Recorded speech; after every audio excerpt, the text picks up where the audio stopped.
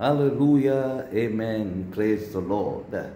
God works in so many different ways uh, in our lives to establish His plans, uh, to establish His will for us.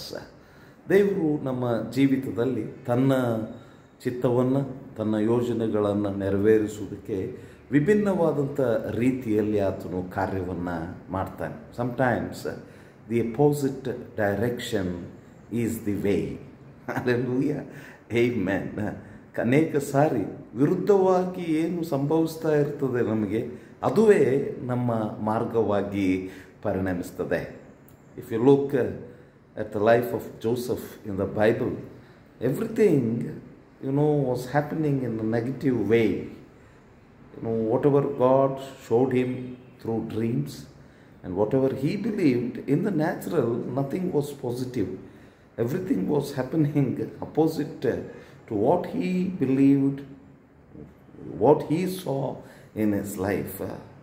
ಯೋಸೆಫನ ಜೀವಿತದಲ್ಲಿ ಆತನ ಕನಸುಗಳ ಮೂಲಕವಾಗಿ ಒಂದು ಸಂಗತಿಯನ್ನು ಆತನು ನೋಡಿದ. ಆದರೆ ಹೊರಗೆ ನಿಜ ಜೀವಿತದಲ್ಲಿ ಅದರ ಹಾಗೆ ಯಾವ ಘಟನೆಗಳು ಕೂಡ ಘಟಿಸಲಿಲ್ಲ. ವಿರುದ್ಧವಾದಂಥ ಸಂಗತಿಗಳೇ ಸಂಭವಿಸಿದವು. That is why uh sometimes opposite direction is the way hallelujah.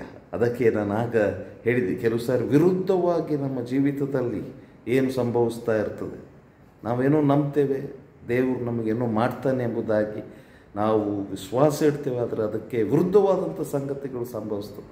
ಕೆಲವು ಸಾರಿ ಅದೇ ನಮ್ಮ ಮಾರ್ಗ.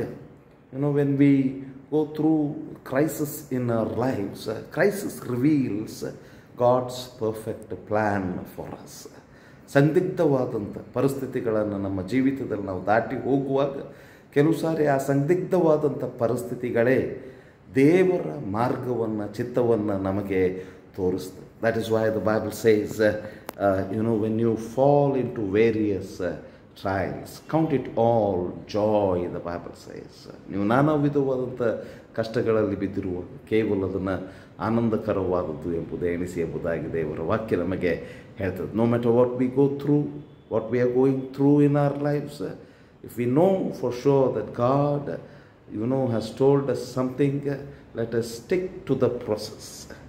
And God will take us through all those things. And He will bring to completion what he has begun in our lives ಕೆಲವು ಸಾರಿ ನಮಗೆ ಒಳಗಿಂದ ಗೊತ್ತಿರ್ತದೆ, ದೇವರು ಇದನ್ನು ಮಾಡ್ತಾ ಇದ್ದಾನೆ ಎಂಬುದಾಗಿ. ಆದರೂ ಹೊರಗೆ ಭಾಳ ವಿರುದ್ಧವಾದಂಥ ಸಂಗತಿಗಳು ಸಂಭವಿಸ್ತಾ ಇರ್ತದೆ. ನಾವು ಬಿಡದೆ ದೇವರನ್ನು ಅಂಟಿಕೊಳ್ಳೋಣ. ಆ ಪ್ರಿ ಆ ಪ್ರಕ್ರಿಯೆಯಲ್ಲಿ ನಾವು ಮುಂದಕ್ಕೆ ಹೋಗೋಣ.